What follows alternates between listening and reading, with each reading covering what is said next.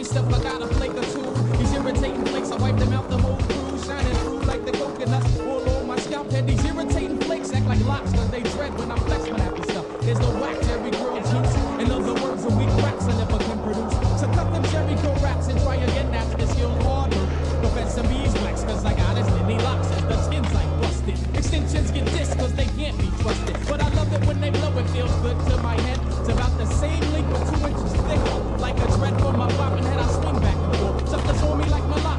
So what's yours? MCs dread my skill, but I got them locked up. MCs dread my skill, but I got them locked up. MCs dread my skill, but I got them locked up.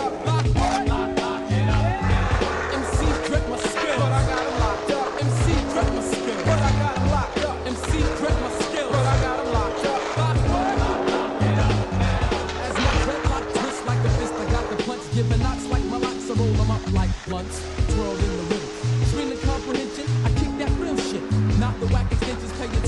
I mention?